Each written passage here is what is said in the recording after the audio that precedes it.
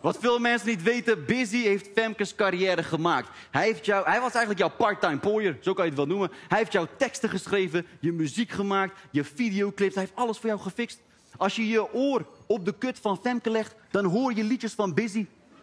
En ruik je de hand van Ali B.